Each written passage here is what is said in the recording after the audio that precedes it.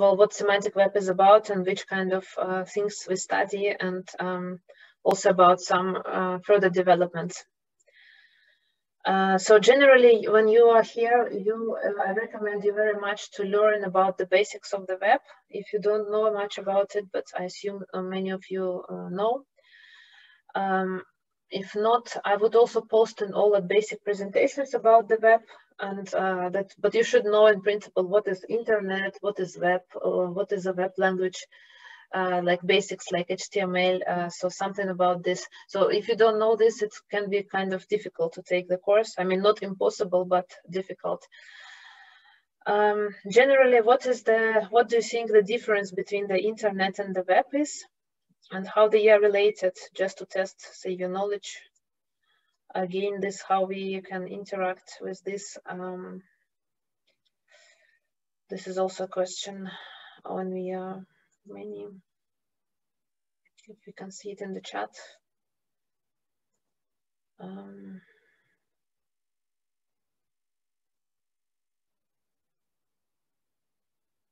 maybe we should put the chat back again.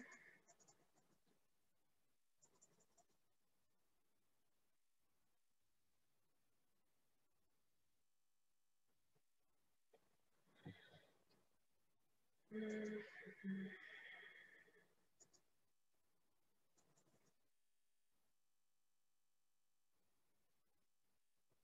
Mm -mm.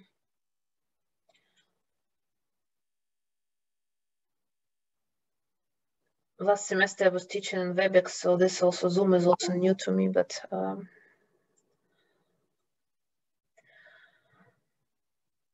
So basically, if you think about uh, a difference between web and internet, and you ask, for example, well, how they are related, for example, well, this question we discussed also in uh, web services course, but generally, of course, web and internet, uh, well, um, the first thing that, of course, they're not the same. So if you asked out of these three options, uh, you would be, um, the right one is, uh, would be, well, think for a moment.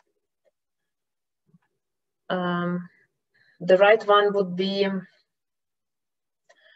of course, the middle one. Um, that's the web is application layer on top of internet because the web is basically based, uh, lies on the internet and uses uh, internet to um, present information. Uh, also, you may have been interested in the development history of the web, where you have um, and the first uh, basically systems which were uh, alike to the web were, uh, you may know, they come from as uh, early as, um, well, around the end of the Second World War. They started to do basically different models which led to, uh, in the 60s, um, to the hypertext, um, which is basically was very, very, very um, language already something similar what you use uh, like HTML or um, also on semantic web. So you basically could link documents.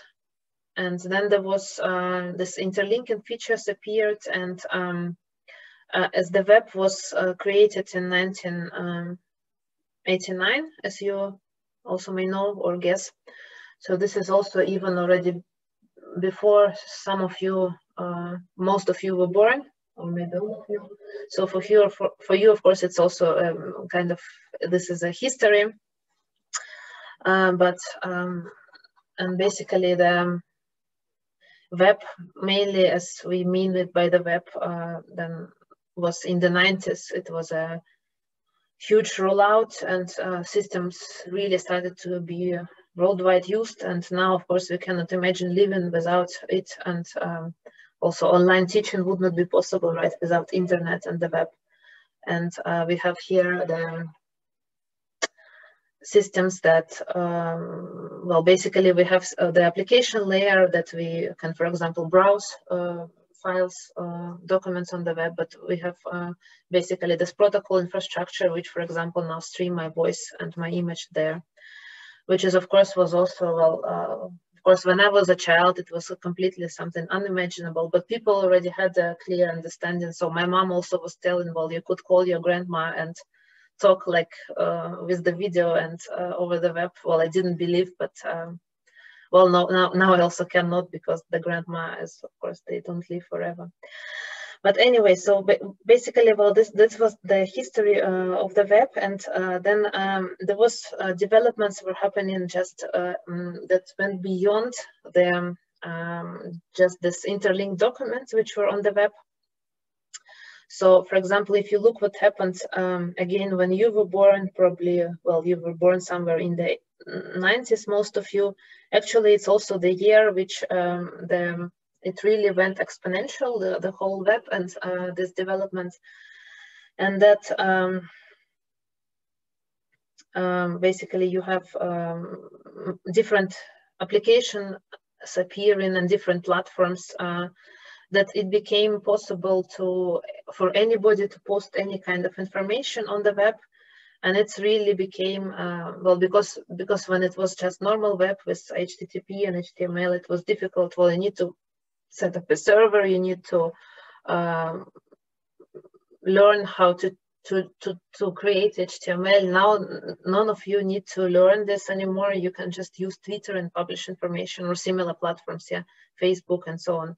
So basically, uh, it was also called the social web, and it, uh, it was in the early um, years of this century. So it's really everybody could use um, the web, and this was a very big advantage. So basically, well, between the web and the internet, you should clearly understand the difference. So internet defines, for example, internet protocol suite, and world is more, uh, web is more about uh, the languages like HTML, uh, which run on top of these protocols. And um, with this, you, for example, can navigate the web and click on the link and go to the next link. So uh, generally, well, you may know, you may not know, uh, the well, World Wide Web appeared in the 90s, and uh, it was uh, also not very far from here. It was um, in CERN in Zurich, and um, or no, it's in Geneva. Well, but still, well, it's a neighbor country from us. And then um, there was a person, Tim Berners-Lee, uh, and he basically, well, he just uh, put together the internet protocols and uh, the hyperlink models, hyperlink documents together. Uh, and he didn't want to invent the web, but he did, wanted to improve the document management system, which they had at CERN in the 90s. Um, and he just put well these hyperlink documents and connected them like globally, what you could do on, on, on the internet and uh, created language HTML and um, this development and basically it led that uh, we have a web now uh, as of now.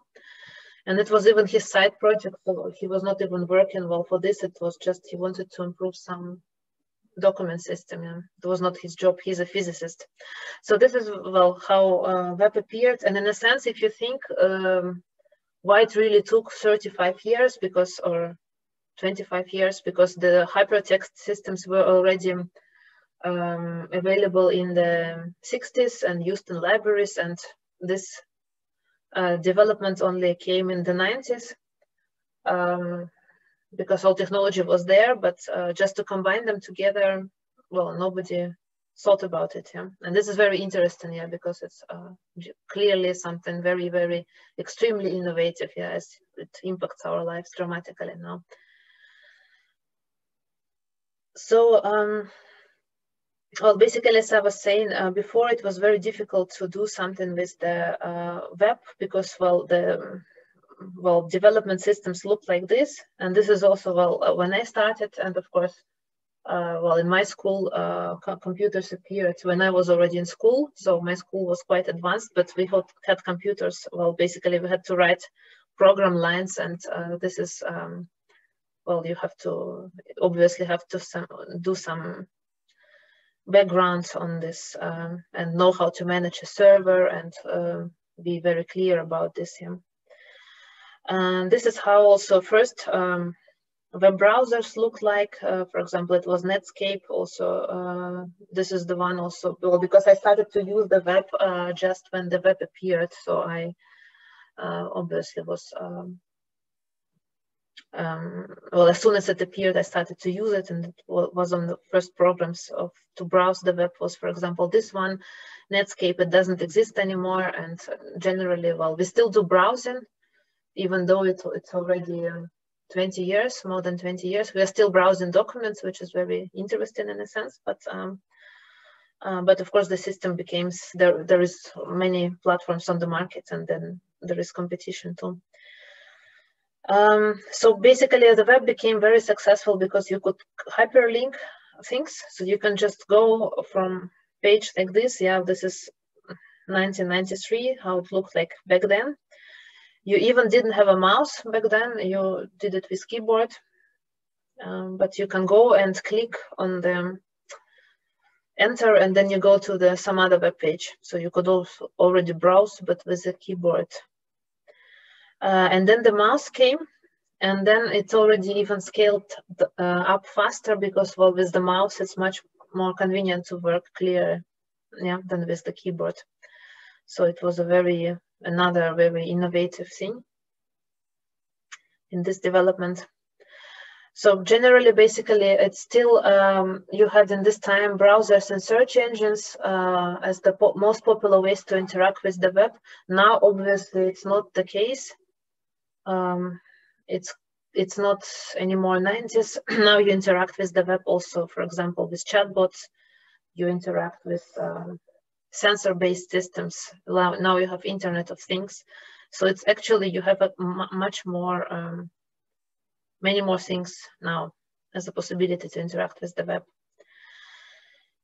Um, just a as a reminder, what you should really know about Web 1.0 before you go in this course. I think most of you know it, especially ones who did already some web development or web services courses. But you should understand well this concept and go through basically, well, at the best, take, take a tutorial. I will also put a slide deck on explaining basically what is a URI, um, basically this identifier to identify an object what is HTML and uh, that you go through tutorial and what is a hypertext transfer protocol. So this is really like the, the three pillars you should know uh, about Web 1.0 before you go into this course. So I won't be checking also these things at exam, but um, again, if you don't have a background and you still want to take the course, we'll go really like in the next week or two and take tutorials for those things also uh, put a slide deck for you um, to with all the needed information, which is basically you need to know because if you don't know this one, uh, well, it will be really well next to impossible for you to to follow this one um, if you don't understand the basics of the web. So this is just for information. So I would not be going into details of this ones now because well, some of you, most of you should know it those of you who don't and still want to take the course, please do study those ones because then otherwise you have problems understanding further. Um, basically, Web 2.0 is a different story because it uh, in the uh, from the 90s it was 1.0 from the uh, beginning of the century it became Web 2.0 and um, it's uh, basically uh, all these platforms which enabled people to create content very easily and um, put it online without any kind of um, technical knowledge, for example. You don't need to know what is a server and how you structure HTML manually. You can just do it by, you can go on Twitter and open account there and start to publish. So this is about this. So it became very generally accessible. So it's um, and there is basically software appeared.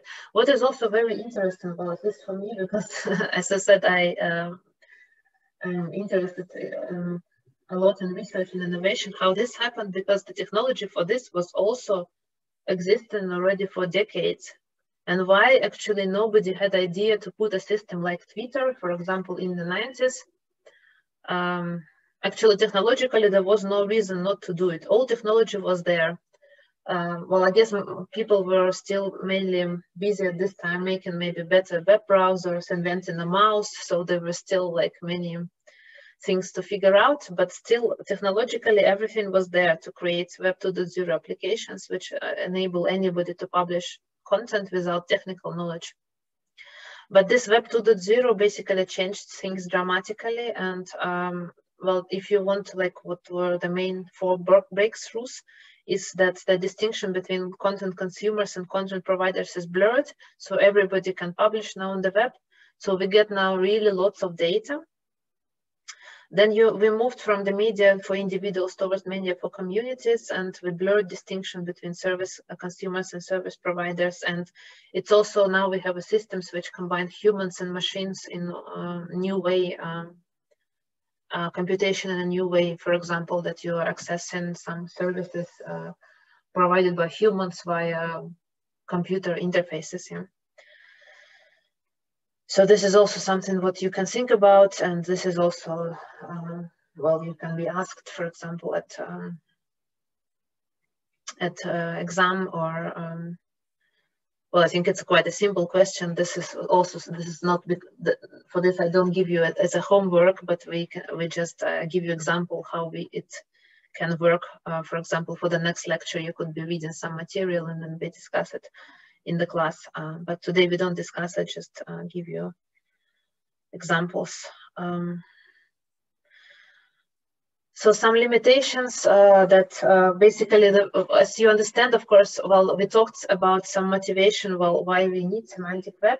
And here the motivation is, of course, for web 1.0 and 2.0, finding relevant information is very difficult.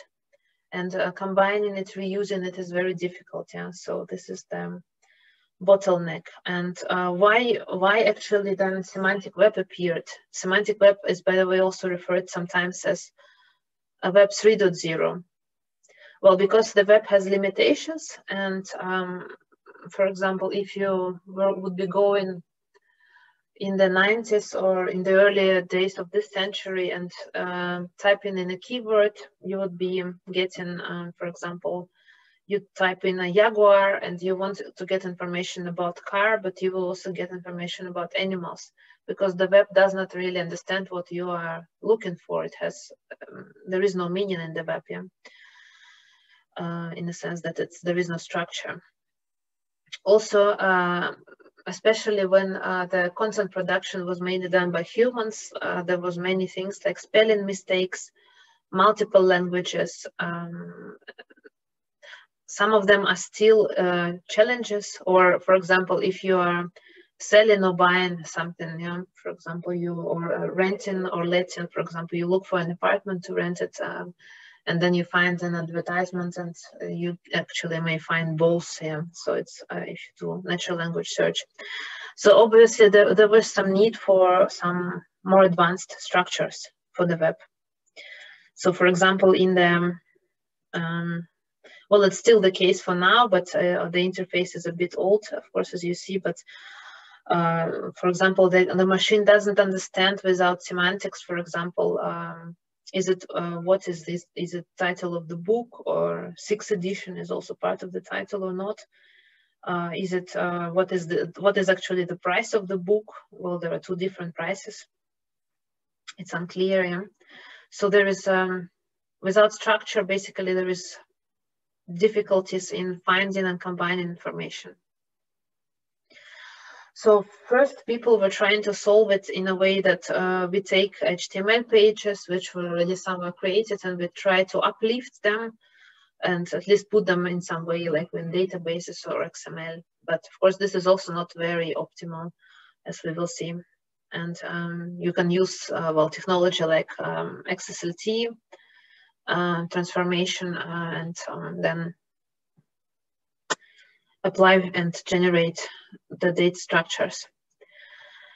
Um, basically, also when you try to combine information coming from different sources, it's a challenge, it's difficult, it's um, often, well, without basically semantic web, uh, it's you need to deliver ad hoc solutions to do this integration. Uh, well, for example, for traveling, for planning a trip, uh, you need to combine information from many sources, which is not difficult, which is difficult. Uh, here, basically, what would be a, um, a, better web and how to improve the web is basically to um, increase automatic linking uh, among data, then increase recall and precision and search, and increase information and data automation and data integration and increase automation in the service life cycle. Uh, so basically for this adding semantics uh, would be a solution and here um, you have um, uh, also Tim Berners-Lee.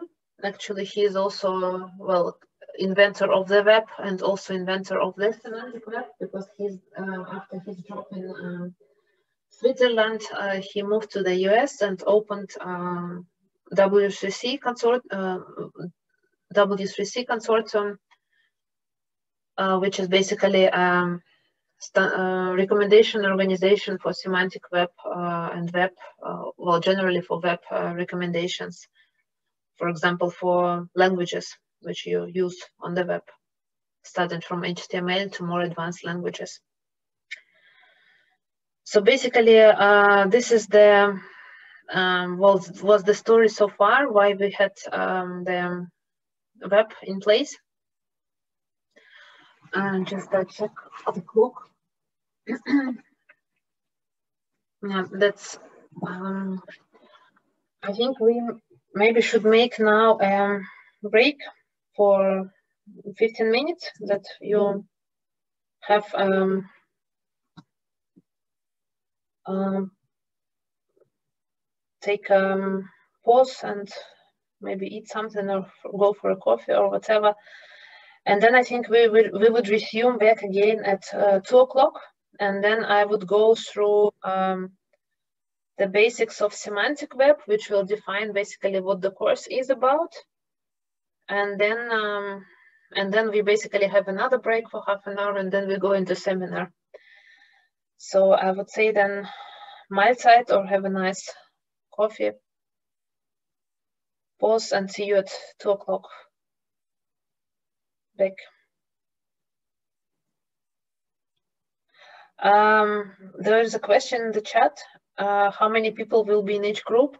Uh, three to four, we recommend.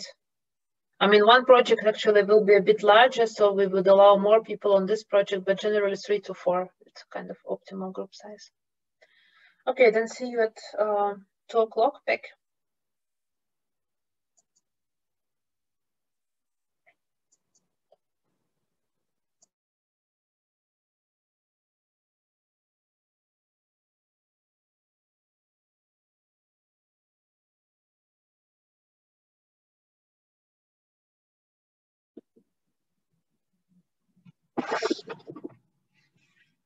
Right, so um, I think we can restart.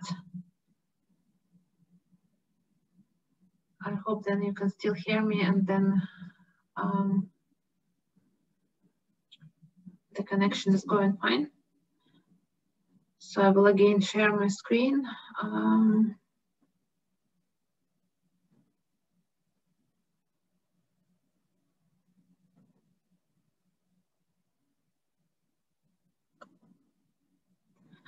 Uh, so we stopped basically well uh, on the motivation of semantic web and we wanted to um, well it was clear that well obviously it did happen already uh, but you already get the idea basically what was before before semantic web uh, ha happened. And um, here um, basically um, well you saw that the semantic web is basically uh, taken up this very, very large uh, growth of the web.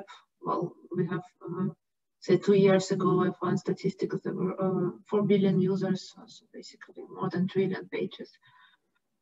Um, there is many serious problems, information extraction, indexing, and uh, so on. And this is the semantic web. And um, semantic web was uh, came out as a term uh, in early, well, in the beginning of the century. The paper which made uh, semantic webs known to a broad audience was a paper by Tim Berners-Lee, uh, James Hendler and Ora Lassila called the semantic web. It was in, uh, in Scientific American. Um, um, actually, for the next uh, for the next week, um, for the flipped classroom, also it would be a nice exercise to look at this paper and uh, the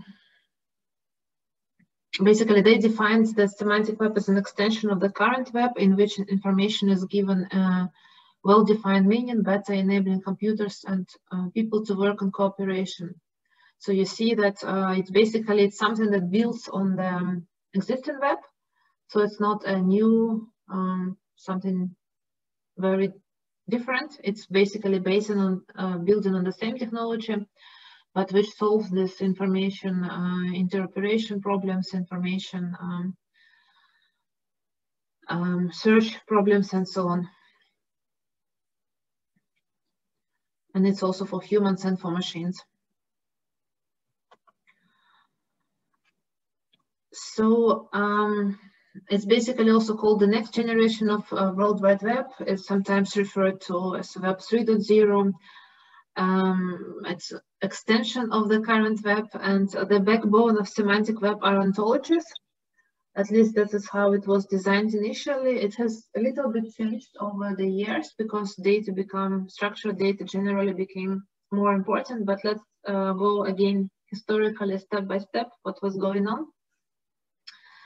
So on ontologies, we will have a separate um, kind of block uh, in the course because it's a very important topic on how to structure information, how to organize it, and um, how to do ontology engineering. Generally, for now, you can just know that ontology, well, it comes originally from philosophy, uh, but it's um, uh, in computer science, this term basically migrated and it's used in computer science and it can be um, followed, say, this definition, formal explicit specification of a shared conceptualization.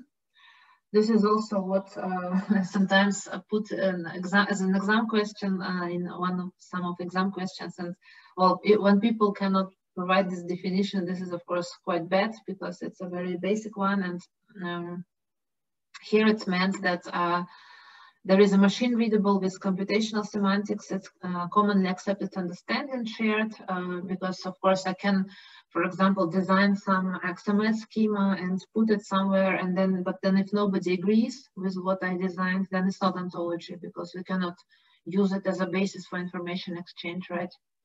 and it should be unambiguous. And with this web actually helps a lot because you have URIs and they make, uh, you can refer to object um, by in, in, an ambiguous way yeah, uh, to any object, web page, sensor, whatever thing. So this is um, um, what basically is ontology is. Um, then it's the last, the, in the slides we explain what it is. Then it's uh, basically um, it's a well-defined meaning for information. And all these points which I uh, explained that ontology is a custom serialization, it's explicit. So it's uh, clear what we are talking about. If we're talking about Jaguar, if it's a car or a cat, it's formal, it's shared. So um, this is the definition. And generally, um, you can represent also like visually, for example, like this, that um, there are some concepts, for example, a person there is a relation between those concepts, uh, there is an axiom, and there is a property. Well, for example, lecture has a lecture number, um, which is a kind of property. Then there is, um, well, basically this is, can be considered as an ontology. And here you have a person, uh, which is a professor is a person, and um, professor holds lecture, student attends lecture, student is also a person, student has matricle num number, professor has some research field where he or she is expert. And then every person has also name, uh, email address and so on. Yeah. So this is the, for example, very, very simple model of a domain and uh, it can be considered as ontology because I think many people will agree uh, that, well, this is what is represented here is correctly, yeah? that it's really like how it is in the world. So you see, it's also a bit of a subjective view, yeah, uh, when you talk about ontology, because you can have um, ontologies actually doing contradictory things, and they would also be ontologies because maybe some group of people uses it to exchange information and considers it for right, and another not, yeah. For example, well, in Russia, everybody thinks that Crimea is, or not everybody, but the official position that Crimea is part of Russia, and um, in the world they say, well, it was illegal uh, what was done, and it's not. So it's, uh, but these are two different. Basically, both have the rights to be ontologies because both models, because um, there are groups which are agreeing on them on both sides. And this also makes uh, information processing not simpler, but um, that's um, um, here the challenge. Uh, there are different types of ontologies also, in fact, uh, like for, for example, some of our colleagues from Italy, uh, like in Bolzano, they are very good experts in these domains and they did many, uh, lots of research. And uh, for example, you can, it's clearly that some ontologies are quite reusable. For example, if you have a concept like space or time or event, that would be reusable all over and some of them are very applied. And then the, you can also put, for example, task and problem solving ontology. For example, you can ontologize a process, um, how you, for example, solve a problem, what you are doing, what you are delivering. So um, so basically there can be very different ontologies. Uh, in the course you will work with ontologies. I think in most of the projects involve some work with ontologies. They will probably different, depends on project to project. You will do work with different ontologies, but you will see basically how they look like. Um, so basic, semantic web is basically about this, uh, well, it's a lot has to do with information representation and reasoning because when once you have the such structures yeah or like such ones you can also reason on them. So you can actually apply uh, logics on top of them yeah which is uh, also useful thing. And there is query languages and graph databases. So basically well uh, semantic web is about uh, creation creation of annotations for uh, them. Um, objects which you talk about, for example, that I'm a lecturer and associate professor at University of Innsbruck, and this is the image of Innsbruck and so on, and basically you can all represent it. And then you can cross-link it, yeah, for example, that also Innsbruck is in Austria and Austria is in Europe, and um, you can build various advanced models. And then you have, uh, you can um, query it with languages like SPARQL, um, which we will also cover.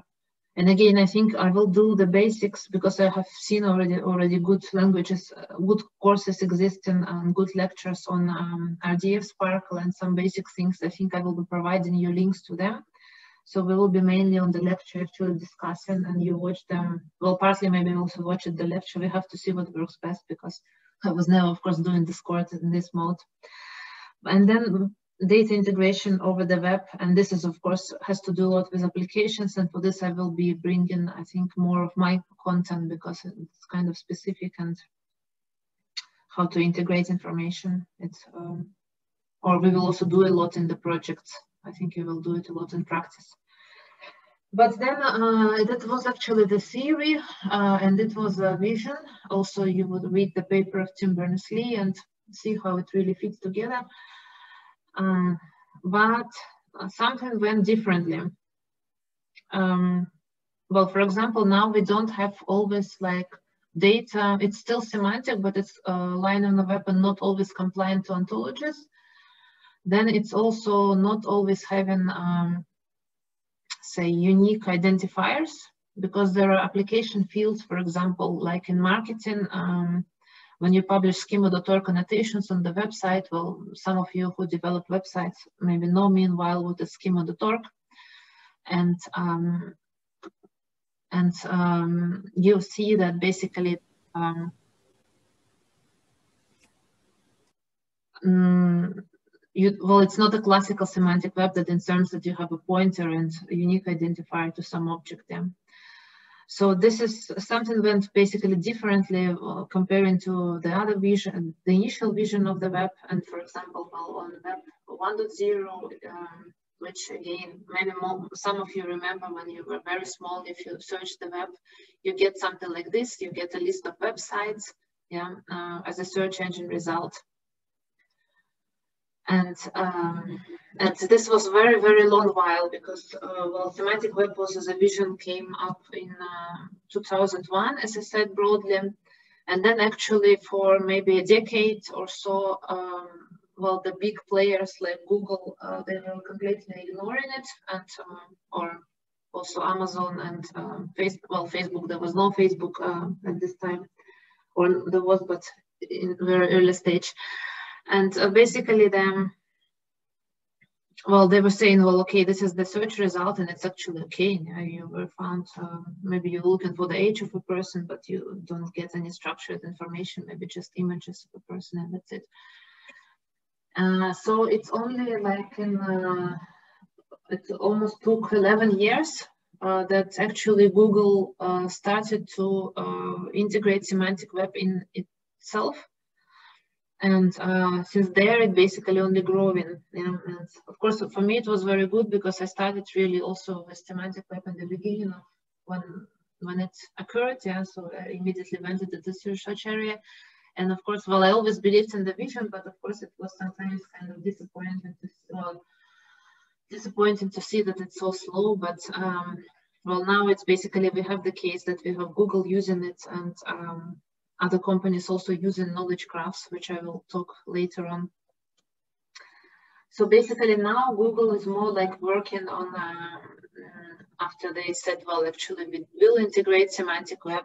Uh, they are working more like a query answering engine. For example, you work, you go, and this is a query from 2015, and uh, well, Dieter Fensel, some of you also met him at uh, online communication course, maybe a little bit. And uh, well, you ask how old is when he was born, and um, five years ago it was a query, and actually you get an answer. Yeah, he's born.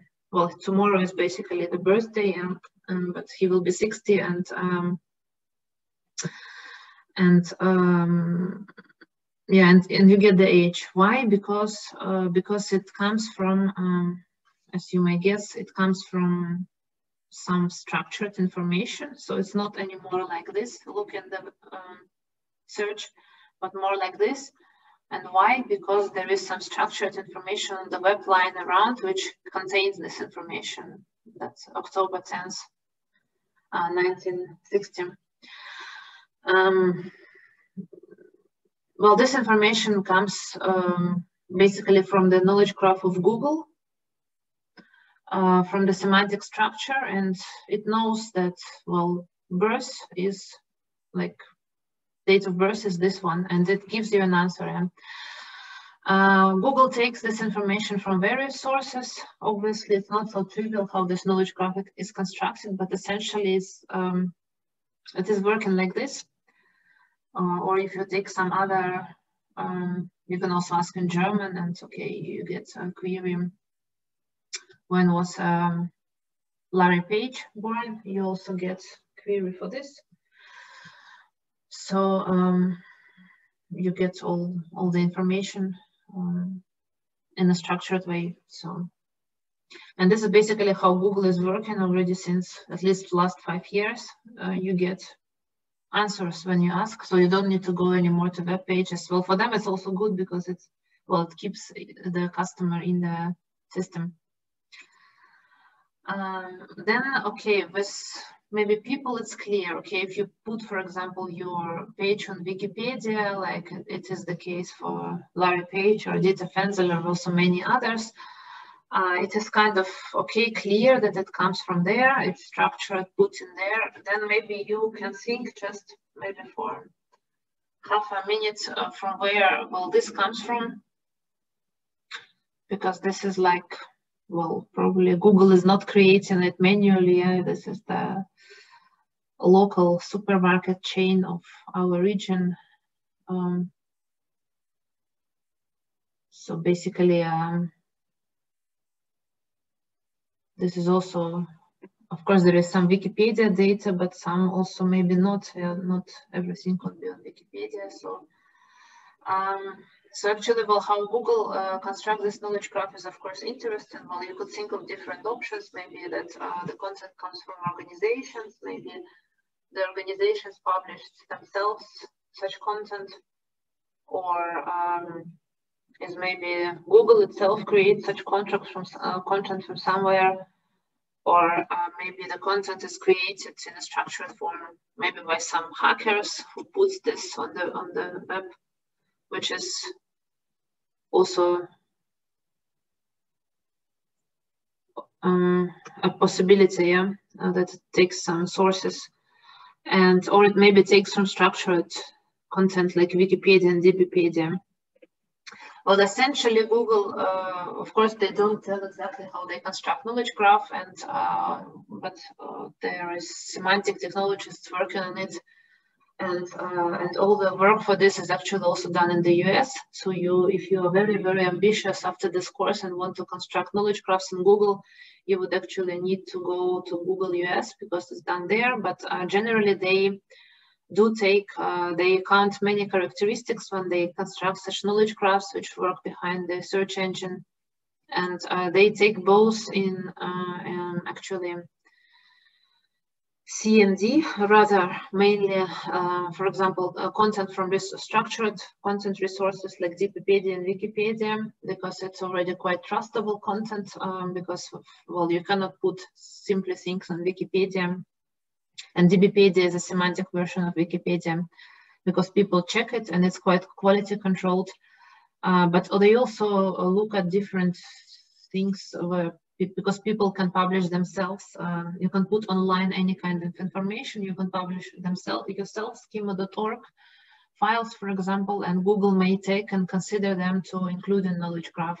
So they, if they, for some reason, mm, consider the source as trustable, for example, they see it's a very um, trustworthy website and the website published some structured data, then they may take an integrated and knowledge graph, yeah. And how to define if it's trustworthy or not? Um, well, of course, they don't tell, they don't really tell all up-to-date details all the time, but more or less it's, of course, well, there are some indicators, right, that's uh, possible to do. So, um, but basically it leads that we also have some headless web now where you have the just uh, Google Knowledge Graph and natural language processing and translation in the current web. So it's not always, uh, it's actually this um, semantic web technologies well started. It's very nicely with ontologies and we structure everything in uh, schemas with which people share understanding among each other. But now it's it goes actually very well there are more and more technologies appearing and approaches and well knowledge graphs is um, one of the very hyped words currently or is basically uh, for for the data which is published so this structured interlinked data on the web which is not necessarily um, in a sense like um, initially designed on semantic web that it's also headless web uh, so knowledge graph, um, well, Google Knowledge Graph, it contains, well, it's really huge. Well, you, you, can imagine for many search engines, you get just reply. They started um, a few years ago, and actually it's not only Google, um, uh, with this initiative schema.org, um, it was by the big four search engines, so Google, Bing, uh, Yahoo, Yahoo was still big, bigger than now, and Yandex, yeah. Um, the, the Russian search engines. So these are like the ones which are mainly used. Of course, the Google is the most dominant one. Is, but they basically they all support um, schema.org, which is good because it really um, went to Asia and to the US and Europe and uh, Russia and well, basically really global, which is uh, very good. And um, they all use the schema.org format, which is also headless, by the way. Yeah. So, for example, you see such uh, such things uh, all over. For example, you look for recipes uh, to cook or to for hotels, and then you see, for example, here like uh, stars and Bewertung and um, different details. And here you also even see some pictures um, guacamole and so on.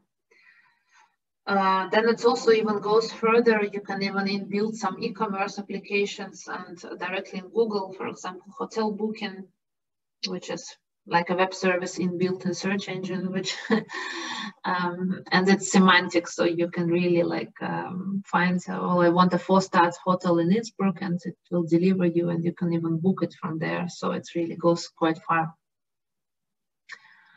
Um, or different well annotations they look like this, so it's you have um, well, for example, this one we like to show um, that uh, we were uh, involved because uh, in the some earlier projects in the years we experimented with putting semantic annotations uh, on different websites, and uh, we're looking if they pop up in Google or not because this is also well um, interesting. Well, I think for everybody who develops web apps.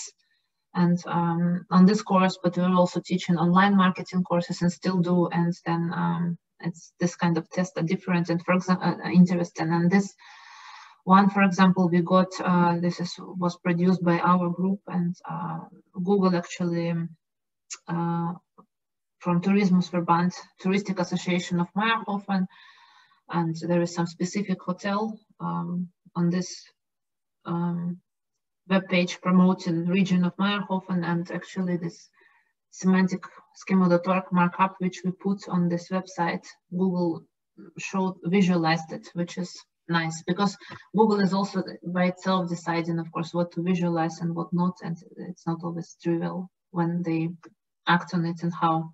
This is the challenge. Or you can also see like uh, in boxes different events, and um, so it's very structured reply to your query about events, for example. And then you can go to some specific event. So basically, well, uh, obviously the interaction also has changed. You don't have anymore like on the web, you have uh, um, interlinked documents and web browser and mouse, but you actually have much more. You, you also can build chatbots and uh, personal assistant, which knows all, has all your data and can figure out what is the, for example, you've got a flight delay and uh, there is the rescheduling taking place automatically. Well, if it's, of course, for now, it's a very, very much from the past scenario, but um, generally, basically, you can combine any kind of dynamic data on the fly and uh, do it also with chatbots. Here, maybe you have a different scenario where you came maybe from across the border and want to find out where is the next station to test uh, for COVID um, infection that uh, you can reach to be on time with the current regulations because they ch change all the time. So essentially scenarios may be different, but uh, the fact is that when you have the data in structured way, this, the personal assistants can deliver you the request responses. So um, and this is why it happened till also um, two, three, four years ago. Uh, it was a boom and still a boom in the chatbot industry. So uh, you have Siri, Cortana, and so on and so forth. Also, one of the startups of our group, uh, OnLim, they are doing um, chatbots to basically automate communication. And this is clearly based, uh, it's very uh, practical to build them based on semantics and um, knowledge graphs. Um, well, for example, you also have a chatbot at uh, University of Innsbruck, and this is also what uh, OnLim is doing in particular, that uh, you can ask information about courses and you get a response here. And this is clearly replaces uh, quite a takes a human out of the loop and um, just for asking some facts well you don't need a human responding uh, for it really no? It can be automated with a chatbot. And this is comes from the fact that you can structure information behind with ontologies and knowledge graphs and then you have uh, conversational systems which are considerably at a at a new level yeah which are really intelligent. So this is a still a very booming area and uh, I think we also put some projects related and of course that goes into actually now everybody wants also to go even like companies like Amazon, yeah, they go and uh, also put this device physically in your home, um, which um, have um, like this one or like this one that you can talk to the assistant, uh, to Siri or to Alexa or to Google. Um, Yeah, so basically the headless uh, web uh, is the case here that the content get extracted from other pages and directly represented and uh, there is no URIs involved, yeah. So in a sense, well, I still told that you should learn URIs and HTML and um, this language is related to web.1, but in fact, well, if you just work with, well, applications like headless web, you wouldn't even see much of URIs. So it's, it's really changing. It's, um, and that's also interesting yeah so um mm, yeah so maybe in uh, say in five years from now we even even now I, am talking a lot like in the historical perspective okay there is the web and then semantic web and uh, um, maybe we have more uh, or maybe the next edition of this, uh, because eventually we probably will have a new curriculum and we also will have a new names for the lectures on the master course. So I think we are already thinking about new names. It may be even the case that it's one or one of the last ones, uh, which we held it in this way as a semantic web lecture, but um, because after this we probably will have new courses which are more um, all about knowledge graphs, for example, or some similar courses which already reflect in this, um, that there is many new ways to represent knowledge. And in fact, the, vision of semantic web also a bit diverged, but also evolved um, and um, essentially same ideas, but in a different way. So um, what was here, basically, it basically uh, destroys at the same point of time some businesses because Google wants to well build if, if, if Google can inbuild services and Amazon actually we have a small problem uh, that um, maybe potentially some players go out of the market because um, well Google and Amazon and other companies um, will take a share uh, their share. Um, especially also they combine it now with currencies and um, in Amazon they yeah that's there was Libra and or in Facebook um, and in Amazon anyway they have Amazon Pay so it's really they can open a complete supermarket on their own without any service providers yeah, and actually consume e-commerce completely so it's we may be running into issues that we have very big players, but this is also what you see yourself, I guess, as a user.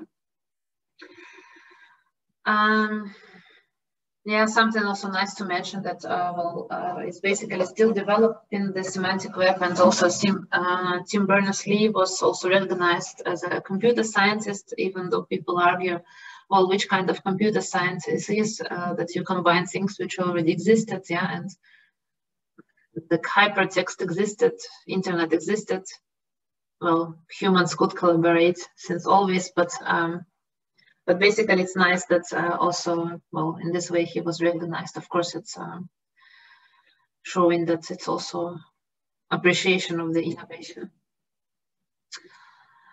Uh, so basically for the um, for the homework and or uh, but I will send I will be sending for for the lectures every time um, a separate email that all of you are following even when you missed the lecture that you know what the task for the next lecture is.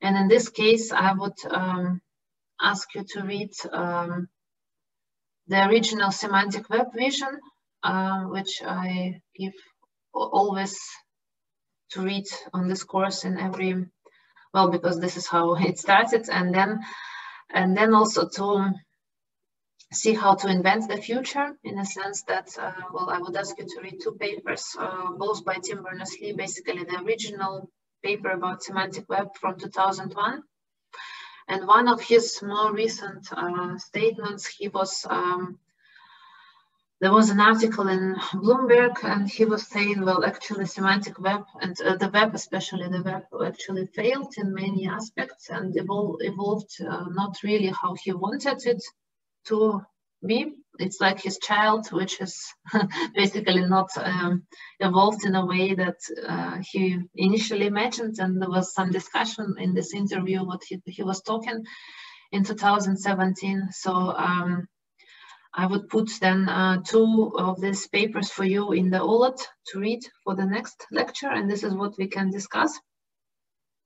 And basically, uh, that you should uh, have answers for the questions, uh, basically what was envisioned then in 2001 and what is realized now and uh, what is still not realized and also what we uh, what happens basically now uh, positively and negatively. And you can also talk about now like 2020 and even a bit like uh, in the future what you think will be the developments like would be the initial vision realized or not yeah so this would be the uh, i think with discussion we should reopen the next lecture with um, this one. So i would not ask you to read it now because well the time i think is not so large but um, uh, so um, maybe I go still and uh, check in the chat or with you how you are stop sharing and um, if you have any questions up to now or if you also maybe any feedback um, or any indications in the middle of the hour. Because then what I will do still for today I would show the um, uh, basically a very brief overview where we start. And then, uh, as anyway, the next two weeks for the lectures, we will have individual meetings. You can also um, use these individual meetings to ask any kind of questions you when you start to read about basic technology, uh, which is um, um, semantic web. Well, basically, we would need to go in basic representation languages, start with RDF.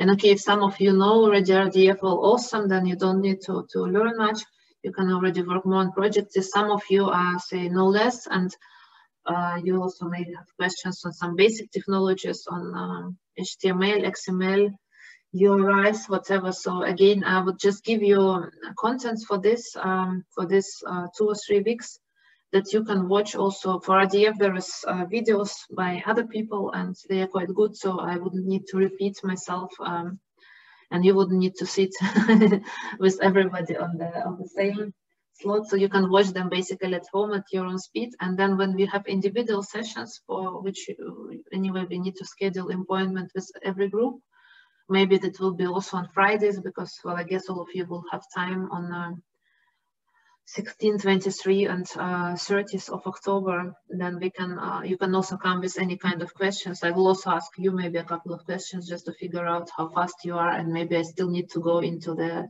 some basic contents when I talk to you as I see. Uh, so let's try to do it this way.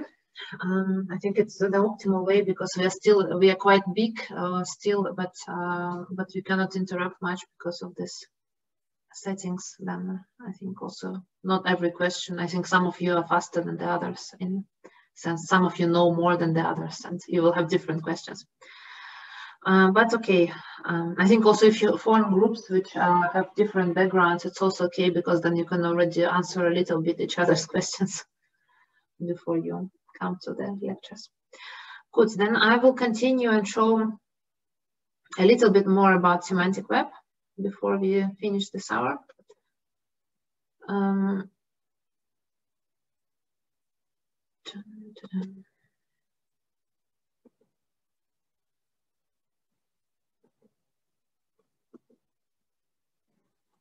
so this you would need to read. Uh, basically, um, uh, semantic web is a lot of about data and the basic technologies, very, very, very basic technologies are um, query languages like SPARQL, um, OWL uh, for and RDF for modeling data, and also tools, for example, like Protege for ontology engineering.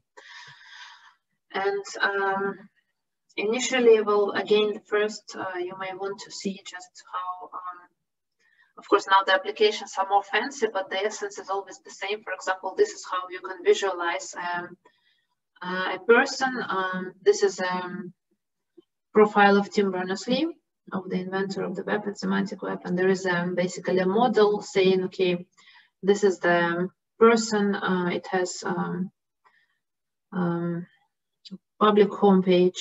It has a homepage. Uh, it has um, uh, some type, uh, mail, and uh, it uh, belongs to the class person. So this person is basically uh, ontology. So the, for example, we saw this professor and student um, example of ontology and lecture. And so this is, for example, also can be ontology. This is, uh, for example, a very, very simple ontology, uh, friend of a friend ontology, and you can basically um, just visualize it in this way by showing all the attributes that Tim Berners-Lee works at W3C. And, um, and then you can browse, for example, if you want to see what you can state about the person, uh, you would get a kind of uh, a schema like this. So the person is a class um, and there are subclasses um, and uh, there is some disjoint. So there is a lot of, um, in the semantic web languages already some notations taken from, for example, from object-oriented programming, because there you also are dealing with classes and subclasses and and uh, also with logics, yeah, because you had also disjoint, for example, well, you don't understand, you understand what it is that person is just disjoint from a document, for example, yeah. you can state it explicitly, and because otherwise it depends on the reasoner, uh, then um, it's also nice questions at exams uh, asking such one sentence, and then would um, person be recognized as a document in this and this scenario, yeah, under this reasoner with this language and under this assumption. So this is what kind of questions maybe when we go into details of different languages. Uh, generally, there are also tools. Well, for example, this one is quite nice. Uh, it's online and it's a platform for um, um, annotation. So you can create um, things out of text. I mean, if you go to this platform, um, uh, well, I think we anyway will go it later um, and do it in some other when we study semantic annotations. But just uh, in this, uh, just a few minutes, I want to show that there is actually a bunch of tools, which are also, there are many commercial tools existing and uh, they are nice and they uh, can be used. For example, for natural language processing, there is a, a framework gate uh, to analyze um, natural language. And for uh, repositories, um, graph databases. There are also many of them, uh, like GraphDB, but also other ones. And um, generally also there is a concept of linked open data. So this is also um, basically a concept has to do with semantic web. And uh, this is the, especially governments and um, different organizations, they are publishing semantic web as um, data sets as linked open data and they interlinked. So they are in this classical way, they are uh, identifiable and you can um, have a SPARQL endpoint for your data set and you can query this data set. For example, um, the government of Austria may want to publish information about, um, for example, situation about coronavirus uh, infections in the country so that other countries can collect this information process and, for example, decide whether they want their citizens to travel there uh, with quarantine or without quarantine or what is the policy should be. So for example, this kind of applications, and this is often done with just publishing data in structured formats and the right way to publish data is essentially linked open data. Um, so uh, the first with the linked open data publishing was uh, US and UK governments, but then every, every government of nearly every developed countries uh, were following up with this. So Austrian government also has linked open data on their government portals and Tyrolean government, well, Tyrolean government has some structured data but linked open data. I'm not sure uh, because um, well, they don't have too many human resources to produce such data, even though they are well aware of it. And of course, I also would be interested. So, um, well, for example, this uh, in the UK, they do it already since 10 years. And uh, you can basically, uh, the data is lying around um, in uh, structured in resource description framework, and you can um, query it with SPARQL, with query language And basically, well, these ones we should learn first because they are the most basic. They are not even though the most, um, well, they're quite um, verbose in a sense, the SPARQL queries. I mean, there are easier ways also to query things. For example, GraphQL, we will also look at this um, because SPARQL for many developers, I mean, you will still have to, to learn it, but for many developers, it's very, um, well, it takes a lot of time to produce a SPARQL query. But it's not, it's not difficult. It's basically a bit similar to SQL, like for um, relational databases you may have learned. And when you see SPARQL, you actually realize probably very quickly what it is about. So, but essentially all um, data, public data, which is published, ideally it should be as linked open data. This is like a recommendations from recommendation from W3C, and this is what um, also governments or any kind of organizations would publish this data. They try to get to this standard. Um, well, and there is this, this five-star scheme so first, uh, the data would be just available on the web. Uh, this is already good because well, hiding data doesn't help us to share information. And then if it's uh, available in some machine readable and structured data like Excel instead of um, image, then it's already better. Yeah? If it's a non-proprietary format, uh, so like a format which is not connected with some organization or product uh, like uh, CSV instead of Excel, it's even better and then four star if it uses open uh, standards from W3C like URIs, RDF and SPARQL. uh, so people can point at your things um, and then if you link uh, your data set to other people's data sets to provide context is even better. That you can um, say for example uh, well I created for example my data set about um, well, for example, I want to, to make my lecture global, uh, open for everybody, that uh, anybody can join on Zoom, me on this course, uh, maybe next year or sometime in the future. And then I just publish uh, structure information about my lecture that, okay, it runs on Fridays afternoons and um, um, then some keywords on which topics I study, then um, how to join and uh, this kind of information and that uh, that it also runs from University of Innsbruck. And then I publish it on the web and I link, uh, for example, to um, DBpedia, uh, which already models Innsbruck and maybe some concepts from computer science to which I can connect and say, well, my lecture is about this concept, about semantic web. So semantic web is surely also on Wikipedia and on DBpedia. So I can link to other data sets and then it's already um, systems understand, aha, so she means this semantic web, which is described in Wikipedia on semantic web page. And then people don't have ambiguity about this and can find my data set also better, especially if some other ones also link to, for example, DBpedia links me back and says, well, if you want to take semantic web course, you can go on Friday afternoon in Zoom. So um, basically it's more or less as you see it works like with the normal web just on the structure level of information and this is what we will be learning the languages and the query languages for this one to represent this information and then also newer developments like headless web and GraphQL and um, schema.org and so on. Um, generally, you should be um, uh, linking um, well, this is a good practice for data linking.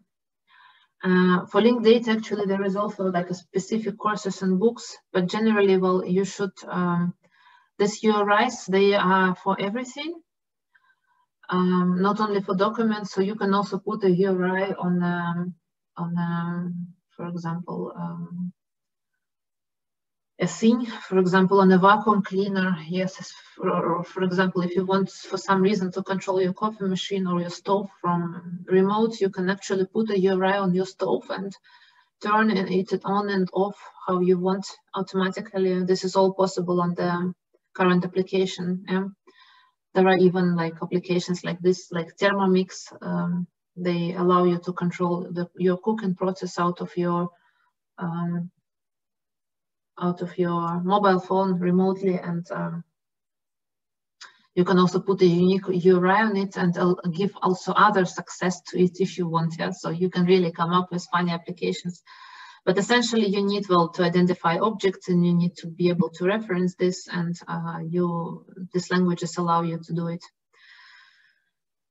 Um, so I was mentioning already a few times DBpedia. Uh, DBpedia is basically is um, kind of big well, because uh, as you imagine in the beginning of semantic web, it was very, very difficult uh, to convince people uh, to use it. Um, okay, I was convinced from the very beginning, but not everybody and many people were not getting the point. And there were many things, well, for example, just the first things like this, people were starting to put uh, just like this uh, structured information about themselves, like a friend of a friend ontology. And then there were uh, also tools because technology guys were convinced and they were developing the tools, of course, uh, in any case, also early, because the, when there are no tools, also people don't work with technology. If there is no anything to do SPARQL, then who will do SPARQL? And then uh, linked open data, so this government sector came, uh, and then uh, this DBpedia was also a very good success story, uh, also already quite some years ago, but generally they what they did is that, and they're still doing this because it's a community effort and a non-profit association based in uh, Leipzig in Germany. Uh, they took all, uh, they uh, uh, put uh, out the structured data from Wikipedia and did a semantic representation of it. So, um, and I think it's mainly so their their effort was one of the ones which actually showed actually is not is possible to create a knowledge structure for uh, the whole world without involving well without asking uh, people to model it yeah because people do it voluntarily on wikipedia and you can just transfer it uh, with some well information processing to dbpedia and then you can query um, very advanced questions uh, with having all this information available. And uh, well, as you know, Wikipedia, they even drove uh, this um, Encyclopedia Britannica out of business. Um, so it's really, um, well, kind of dramatic change here because Encyclopedia Britannica, they were structured information about the whole world and they stopped to exist a few years ago because uh, now people find all the facts on Wikipedia. And DBpedia made it semantic, so uh, you can basically have access to the world knowledge and structured as a knowledge graph and linked data. Uh, you have a SPARQL endpoint for it, yeah. So some of you probably will be also using it for the project. So it was kind of also was so clear when they did it. So I think also after this, Google actually started to consider this seriously and um, integrated it into their system. So it, that's why it took it takes so long to get. But you can ask with this very various queries, for example, um, uh, what is the population of the city in which Anna Fensel lives? So uh, without even naming Innsbruck, but uh, as you, for example, I put information somewhere about myself that I live in Innsbruck, then it can be collected from there. And um, in DBpedia, you can check that Innsbruck has um, well, uh, close to 130,000 inhabitants, or on which elevation I live, or who is the mayor of the city where I live, and um, you get answers for all of this, which is uh, very good. Yeah, you don't need to combine information um, from different sources. The system can do it for you and give you a specific answer. So uh, this is of course a huge effort. That's it's hundred uh, well over almost 130 languages. Uh, it's almost, well, vast majority of the languages which are available at all on the earth are present there. Um, and this is also, they managed to construct everything in consistent ontology and uh, mainly you find there are persons, places, creative works, organizations, species, and uh, diseases are also popular. Um, so it's actually a very huge knowledge graph, as you understand, or linked data set, which is also available via SPARQL endpoints and uh, also used heavily, very heavily by Google and other companies to construct their knowledge graphs. Um, but you can find basically the SPARQL endpoint and for linked data sets for any kind of uh, things like, for example, somebody create, there are many also enthusiasts who create any kind of data sets. Maybe you also create in your project one or another data set. Well, somebody here, for example, writes email. Uh, we did a data set about um, um, between our worlds. Uh, it's about anime series and movies. So you can really, really find very, very, very details, data sets, of course, of different quality, but for many domains already very, very good quality data sets are existing. For example, for biological and medical domains, it's extremely good qualities because the doctors and uh, uh, scientists use it, these data sets professionally and they also exist as ontologies and linked data. But you can also find, well, this one is um, about anime and somebody constructed it, but still has like over 14,000 anime, which is probably quite representative, yeah, the one who knows can judge. But so basically you can see uh, many developments in this area. Um, and um, it enables to do data integration. Um, so basically to do merge identical resources. For example, um, I think that's the last thing I show for today in the lecture. Let me stop here. But for example, you have two data sets which have um, about the same book. Uh, for example, this is data set, it's structured according to some ontology. It has um, unique identifier and you see some details about the book and somebody who wrote the book. And um, let's say you have another data set about the same book, but in French, and now they're aligned separately. But what you want to do is basically to um, merge those two together. And um, this is how they are located like next to each other, but because they have the same URI, yeah, this is why URIs are important. This is why actually, well, I also don't drop this, um, even though you will see much of the content is produced for the, well, I consider also schema.org as semantic web and all its new branches, but still with this URI-based uh, concept is very important, uh, for example, to do this kind of integration that you have um, identify, uh -huh, it's the same object, and then um, you can actually merge this object based on um, equivalence and URIs, because otherwise there is some data lying around. So you see, uh same URI, so it must be about the same book. And the system can put it together, well, automatically, yes, because um, URI is the same. And um, maybe if there is some human in the loop involved and say, well, there is um, uh, one um, original language of um, the book and another one is a French translator, you can indicate which is which or what is the relation between those. And then you can basically merge this knowledge graphs and in one knowledge graph, and then you can run queries based on, um, on um, two knowledge graphs. So you can say, give me the title of the original book, even when you have um, it's in um, French, for example. It's this one, by the way, still use case not resolved, yeah, because uh, it's still not working, even though it was original vision. So this is example of still, which is kind of not very good because this uh, integration across different languages is probably more complex or may maybe not so many people use it very often. But uh, at least I, am not seeing very good applications for this particular example, but, uh, but generally, well, integration on the web does look like this. And this um, basically semantic web, if you try to illustrate it, um, it's as an interlinked, uh, because they're interlinked, as you saw, well, you, we combine two different data sets in one um, knowledge graph. We saw that they, it's interlinked. Um, and if you, uh, there is the same team in Leipzig, they also from time to time try to visualize the uh, linked open data cloud diagram I took one of the, well, they don't do it like every day, of course, or not every month, but uh, once in a while they do it. So this is from 2017. It's still one of the recent ones. And you see it's like very, has really, really many data sets. This one, central one is um, DBpedia. So many data sets linked, to DBpedia.